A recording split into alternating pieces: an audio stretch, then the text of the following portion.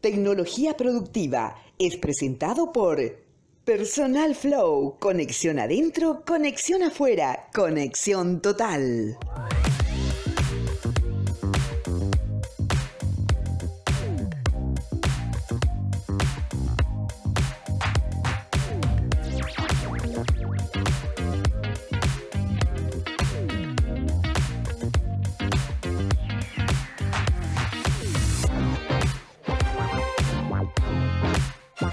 La incorporación de tecnologías digitales ofrece un enorme potencial para mejorar la productividad, apuntalar la inclusión social y reducir el impacto ambiental de la agricultura en América Latina y el Caribe, señalaron destacados expertos del sector público y privado convocados por la Fundación World Food Pride y el Instituto Interamericano de Cooperación para la Agricultura, ICA. Federico Bert, especialista en digitalización agroalimentaria, advirtió que la digitalización también puede generar efectos no deseados y señaló que para asegurar un balance positivo se debe garantizar que no se convierta en un factor de exclusión por la amplia brecha que ya existe y la marginación de actores que no logren adaptarse al mundo digital. La irrupción de tecnologías digitales transforman cadenas de valor. Hemos visto varios ejemplos en los últimos años en distintas industrias de cómo la introducción progresiva de tecnologías digitales terminan transformando cadenas de valor por completo. Y eso es lo que técnicamente se llama transformación digital. Eh, técnicamente, transformación digital se define como la renovación del modelo de una cadena de valor sobre la base de integración de soluciones digitales y especialmente focalizándose este, en la preferencia de los usuarios o los consumidores. Es decir, la transformación digital es más que la incorporación de tecnologías digitales y quienes se dedican a estudiar la teoría en relación a este tema subrayan este último aspecto que la transformación digital pone en el centro de la escena a los usuarios o a los consumidores. Dicho eso, hay como dos impactos esenciales que la transformación digital genera. Por un lado, una retroalimentación más fluida, más ágil, más sincronizada entre la oferta y la demanda. De, cualquier producto o servicio, en este caso estamos hablando de productos agroalimentarios. Y en segundo lugar, una mayor eficiencia de procesos, principalmente productivos, pero no solamente los, los productivos, sino también logísticos y obviamente comerciales. En relación a esa mayor retroalimentación entre la oferta y la demanda que permiten las soluciones digitales, hay tres aspectos importantes que se alinean, o efectos importantes que se alinean con eh, con la propuesta principal de este webinario, ¿no? que tiene que ver con aumentar ingresos de, de productores y disminuir pérdidas post cosecha. Primero, hay una mayor sincronización entre consumo y producción, más rápida, más ágil, más corta, se acoplan mejor y eso indudablemente implica más eficiencia por un lado y por otro lado más satisfacción del consumidor. Por otro lado, menos costos transaccionales y sumado a ello menos asimetrías de información. Que en última instancia estos tres elementos redundan en, por un lado, menos pérdidas post cosecha, entre otras cosas, y por otro lado, mayores ingresos. ¿Mm? Desde ya, perdón, más eficiencia de proceso, en especial en lo productivo, genera múltiples impactos, entre ellos, y probablemente el más importante, es un mayor ingreso para los agricultores.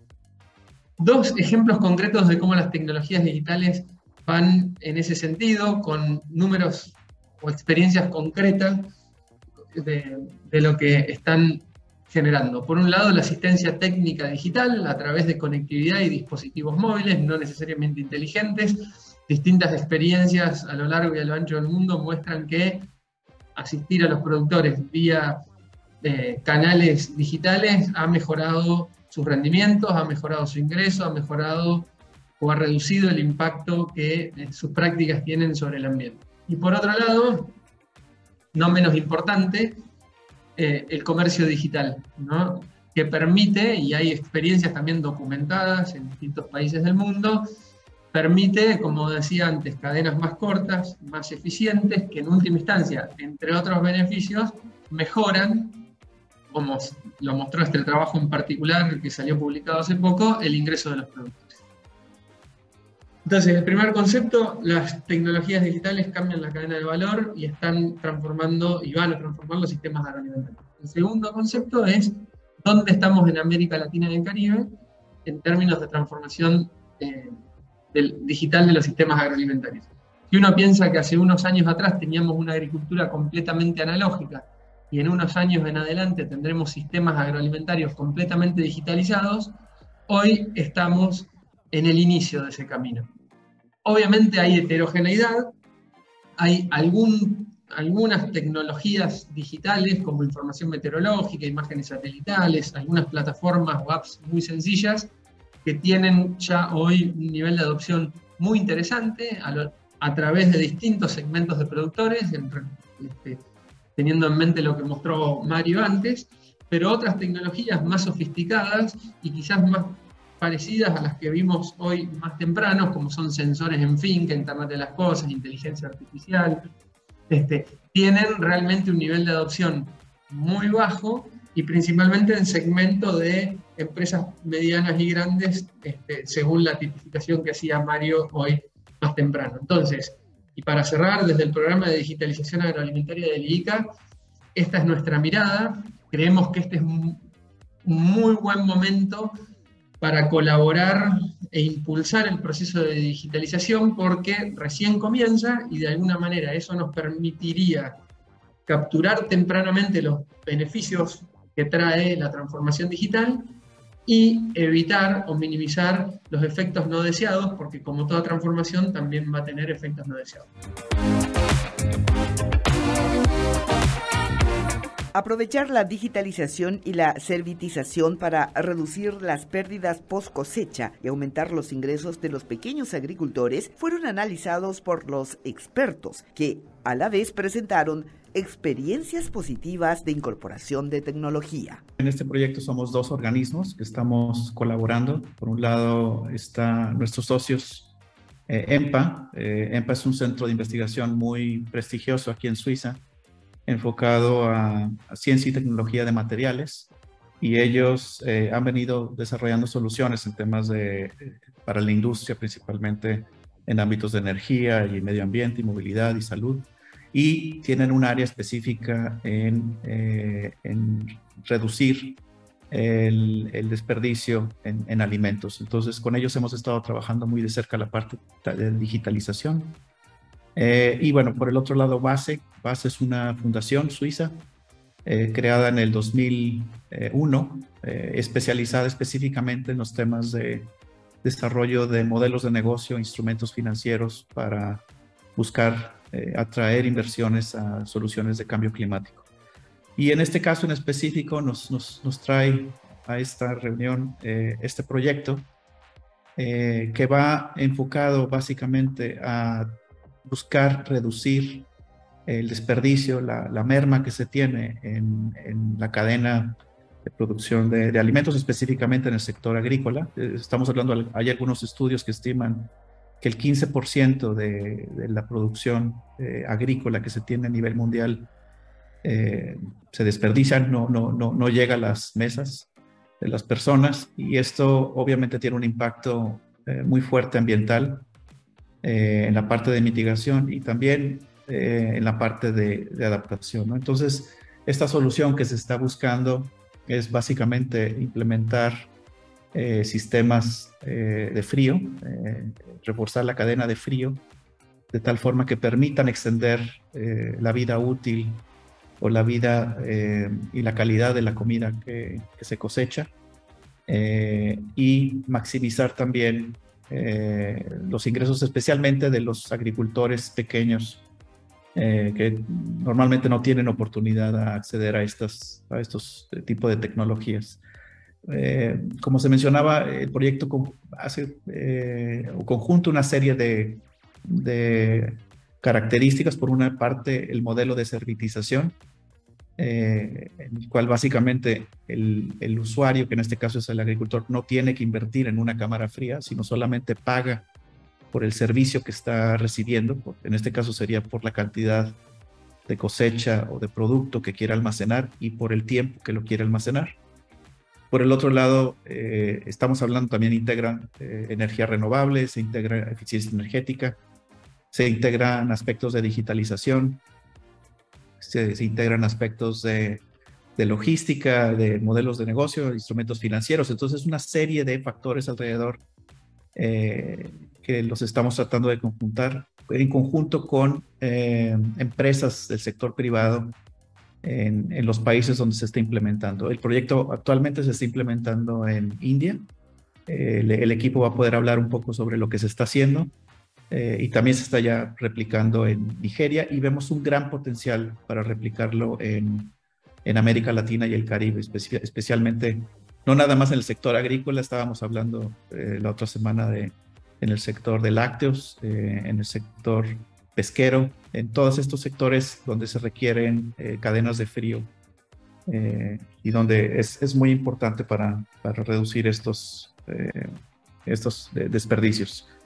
Durante el evento, Diego Arias, gerente de Agricultura y Alimentos para América Latina del Banco Mundial, subrayó la necesidad de contar con más y mejor información sobre los actores que actúan en el ámbito de la innovación agrícola en los diferentes países. El desafío es lograr una interacción sistemática entre el sector público y el privado, recalcó.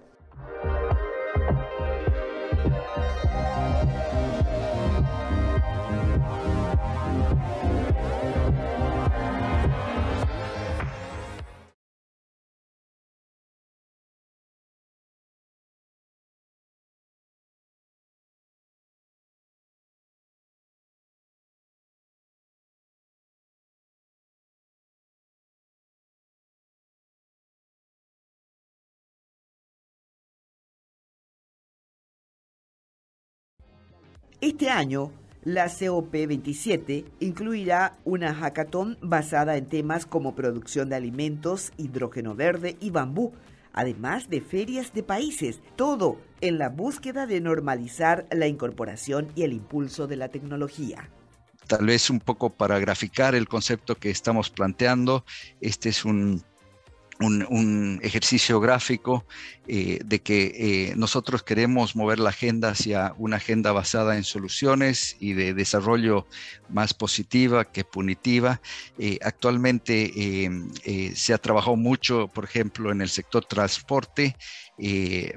moviendo la, la agenda de descarbonización de los del sector eh, automotriz y esto es absolutamente importante, es necesario, pero no es suficiente. Entonces nuestro esquema plantea mirar más allá del sector transporte, un nivel más arriba sería el movilidad y un nivel aún más arriba que el de movilidad sería el de acceso. Entonces, entendiendo las necesidades que tenemos de acceder a ciertos productos, servicios, eh, qué sé yo, a, nivel de, de, la sociedad que vive en las ciudades, pero también en las áreas rurales, entonces tenemos un espacio mucho más grande para la innovación, especialmente si tomamos en cuenta eh, no solo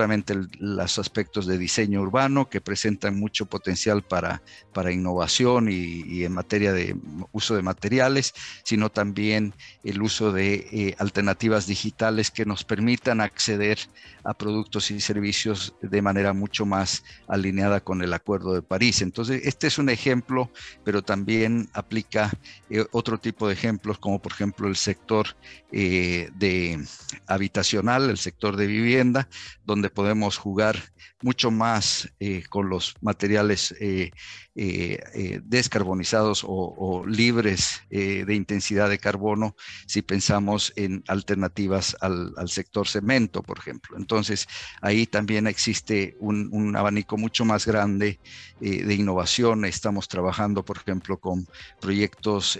habitacionales en función de bambú, donde también pueden combinarse otros aspectos de los objetivos de desarrollo sostenible como son eh, el acceso a, a los materiales de manera eh, más sostenible a través de proyectos de reforestación o a través de eh, mantenimiento y restauración de ecosistemas y todos los co-beneficios asociados a ello. Entonces, es un, nuevo marco que va a dar un espacio de innovación donde los innovadores puedan trabajar con una eh, demanda existente. Esto lo, lo quiero graficar como un, un grupo de, de eh, soluciones que van más allá de las soluciones tecnológicas, pero que buscan eh, varios módulos. Estamos trabajando en, varios módulos que integrados entonces pueden crear más oportunidad para la implementación o la demostración eh, de algunos avances innovadores, pero también para pasarlos y escalarlos a un nivel eh, más rápido, pero también más accesible. Entonces, eso, eso, va a estar eh, de manera modular, muy alineado a la demanda que la estamos eh, colectando inicialmente en las ciudades, pero después de los gobiernos subnacionales de los países y de las regiones para esto y para facilitar esas bases de datos de las demandas y eh, habilitar este espacio para que todos ustedes puedan participar del Centro de Innovación. Tenemos dos estrategias. Una de ellas es una plataforma digital. Estamos trabajando con socios como el, Pacto Global de Alcaldes o estamos trabajando también con eh, Climate Kick y con eh, Mission Innovation entre muchos otros socios y con ellos estamos construyendo la base de datos de las demandas a través de una plataforma digital, pero también ofreciendo espacios eh, para los diálogos en,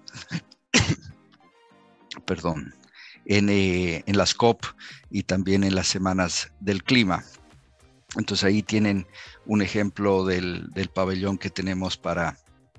para la COP27. Nosotros vamos a tener el pabellón, como les comentaba, eh, los diálogos van a continuar, el lanzamiento que tuvimos en la COP27. Esto eh, se va a llevar a cabo en Sharm el Sheikh en noviembre y ahí está posicionado nuestro pabellón, pero estaríamos encantados de poder conocer sus eh, demandas y a los participantes por supuesto, de mantenerlos activos en el, en el uso de la plataforma y, e ideas de innovación. Vamos a tener una serie de desafíos eh, o hackathon en la forma de hackathon para jóvenes con seis categorías y muchos anuncios en tres materias principalmente en materia de producción de alimentos, en materia de, hidrógeno verde y finalmente, como les había dado el ejemplo, en bambú entonces son eh, dos semanas de diálogos para la innovación. Y bueno, con esto invitarlos a, visitar nuestra página web. Eh, nosotros vamos a estar eh, lanzando los, los, lanzamientos, donde por ejemplo esta iniciativa de BASE, que se va a presentar en detalle desde mi colega Daniel Magallón, puede tener un espacio y así también llegar de manera más cerca a la acción climática que requieren los países en sus planes nacionales. Con esto entonces les dejo algunos datos de contacto y bueno, quedamos a entera disposición desde nuestro centro regional en Panamá para Latinoamérica también. Eh, Kelly, eh, hemos estado trabajando continuamente con el ICA y desde ahí también podemos ofrecerles cualquier información o apoyo que puedan eh, requerir y bueno, vamos a ser vecinos de, pabellón en la COP. También estamos muy entusiasmados con, con la presencia de ustedes y, de posicionar al sector agricultura eh, dentro de la agenda climática de una manera mucho más eh, visible. Muchas gracias.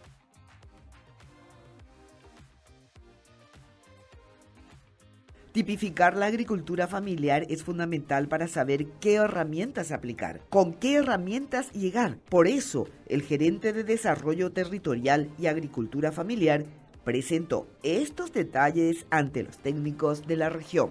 Bueno, en base a eh, determinados censos agropecuarios podemos observar que en el caso de pequeños y medianos productores en la región un 80% están constituidas por eh, unidades productivas, digamos, este, familiares. En realidad de un total de 21 millones de unidades,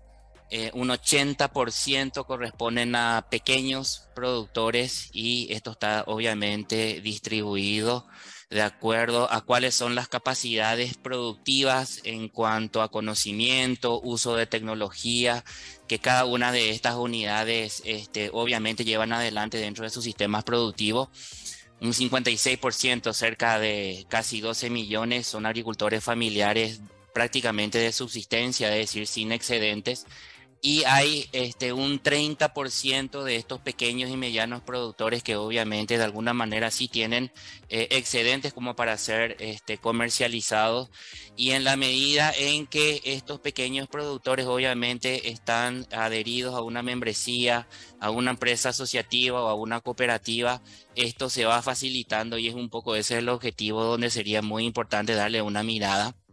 eh, obviamente, eh, los efectos del cambio climático, eh, todo el mundo sabe, conoce, están denotados en muchos países, en muchos territorios. Hoy por hoy se están dando anticipaciones de temperaturas elevadas y cuando no existen cadenas de frío, obviamente eso hace de que muchos de los productos se pierdan, ¿verdad? Por el nivel de aceleramiento en su madurez y por el otro lado todavía es necesario seguir profundizando el uso de estas tecnologías, el uso de estas herramientas más bien por el hecho de que eh, no solo va a permitir que los productores este, almacenen sus productos, sino que como también ya se dijo, obviamente puedan tener una proyección de comercialización en el tiempo a la luz de cada uno de estos productos y que eso les va a permitir extender sus etapas o sus periodos de comercialización y por supuesto de generación de ingresos. Bueno, está de acuerdo a series estadísticas, a censos nacionales, este es el número estimado de fincas por tamaño digamos, de acuerdo a datos de diferentes censos agropecuarios. Ahí ustedes pueden observar cómo en el caso de Guatemala un 78% de estas unidades productivas son menores a una hectárea. Si vamos a la superficie de tierra agrícola utilizada, obviamente por este tamaño de finca o de unidad productiva, pueden observar en el caso de Guatemala 13% menor a una hectárea, entre unas y dos hectáreas eh, cerca del 7,5%. Y esto lo que nos dice en términos generales es de que eh, hay países donde obviamente en cuanto a lo que hace referencia a la agricultura, y en esos países donde el 10% es obviamente el, el, Producto Interno Bruto 10 o superior al 10%, la vulnerabilidad en la producción de alimentos es mayor, es más grave, debería de ser obviamente atendido de una manera diferenciada a través de políticas o instrumentos diferenciados. Si vemos, de acuerdo a ciertas estadísticas este, recopiladas por el IICA, cerca del 50 al 75% de los pequeños y medianos productores son los oferentes de alimentos. Hay zonas, hay países donde un 80% en tema de maíz y frijol o poroto, excluyendo lo que es la soya, obviamente, este, son producidos por pequeños y medianos productores y también entre el 27 y el 60, 67% de estas unidades productivas, esta tipología productiva es responsable en muchos países caso por caso de abastecer en la canasta básica de alimentos. En cuanto a tipología, eh, hay una tipología simple usualmente utilizada por los productores donde se habla de una agricultura familiar, digamos, sedentaria, comercial o capitalizada o consolidada, es decir, estos son productores que de alguna manera tienen un vínculo con excedentes para el mercado. Hay una categoría o una tipificación intermedia eh, en transición que de alguna manera eh, se encuentran en condiciones como para poder graduarse a esa categoría consolidada y hay una categoría inferior, ¿verdad? Periférica, descapitalizada o de subsistencia, donde básicamente lo que se produce en la unidad productiva es para consumo interno y prácticamente poco o nada o nulo en materia de excedente. Sí existe una clasificación más compleja que reúne eh, ciertos atributos, como por ejemplo capitalizados con acceso frecuente al mercado o poco capitalizados con acceso esporádico al mercado, productores de autosubsistencia, productores que no alcanzan a cubrir sus necesidades alimentarias, agricultores sin tierras, eh, pastores o productores que aún se dedica a eh, recolección. y también, obviamente, trabajadores rurales que muchas veces viven en medios rurales y que complementan sus ingresos con otras actividades agrícolas empleándose en otros tipos de unidades productivas. La más utilizada es esta, como había mencionado, la agricultura familiar de subsistencia, ¿cierto? Que está compuesta por aquellos predios en donde predomina la producción para el autoconsumo, con limitada inserción comercial. La que se encuentra en transición serían aquellos predios con cierto acceso a recursos productivos cuya producción se orienta tanto ya para el autoconsumo como incipientemente para el mercado. Y la que es eh, comercial o consolidada, ya hablamos de unidades productivas que tienen su foco en su enfoque en el mercado, con potencial de recursos productivos y bienes de consumo, obviamente, para mejorar condiciones de producción y de productividad. En cuanto a ciertas variables que se suele utilizar para poder tipificar, y esto cada uno de los países los va decidiendo, obviamente tienen que ver con el financiamiento o el, acceso a recursos, digamos, de crédito, cuál es la orientación o la vocación productiva, cuál es el nivel de ingreso, ¿cierto? Dentro de lo que sería una canasta familiar rural, cuál es el origen de esos ingresos, cuál es la capitalización medida en la medida de uso de equipos, de, eh, maquinarias, de tecnología. Y algo muy importante es lo que tiene que ver con el nivel, eh, digamos, de asociatividad. Dentro de esa línea de trabajo, nosotros venimos trabajando en lo que es el asociativismo como instrumento para mejorar la competitividad de la agricultura familiar. En este caso tenemos un vínculo con eh, cooperativas que sería un nivel de asociatividad, digamos, con características y atributos bien específicos. En el caso de América Latina se habla de cerca de 110.000 cooperativas activas, de las cuales unas 30.000 se encuentran dentro del sector agropecuario. Y la idea de este tipo de organizaciones o de membresías justamente es poder fortalecer el nivel de negociación al poder concentrar oferta, reducir costos de transacción, contribuir a incrementar la eficiencia, obviamente, en las cadenas, por lo que, así como habíamos mencionado, este tipo de herramientas de, cadenas de frío, obviamente, funcionan y van a funcionar muy bien en el caso de organizaciones ya de alguna manera consolidadas y en esa misma línea, para ir terminando, nosotros desde hace dos años venimos trabajando en un programa conjunto con Cooperativa de las Américas, que es un socio estratégico del instituto, en materia de un programa de digitalización de servicios a la producción y comercialización de cooperativas de la agricultura familiar. Capaz que aquí podamos encontrar algún tipo de puente o de conexión con lo que hemos escuchado hasta este momento, eh, hoy tenemos dos iniciativas en marcha dentro de este proceso en la región sur, en cinco países, en la región de Centroamérica, en tres países, a través de la intercooperación. Y bueno, eh, me parece que pueden haber oportunidades dentro de esta línea. ICA resalta que se apunta de manera permanente a impulsar la reducción de las brechas de digitalización de nuestro continente. Se trata de un gran reto para la región que no debe desaprovechar las posibilidades que las tecnologías digitales ofrecen para favorecer un desarrollo inclusivo y garantizar la seguridad alimentaria con las mujeres y los jóvenes que viven en las zonas rurales del continente como actores clave.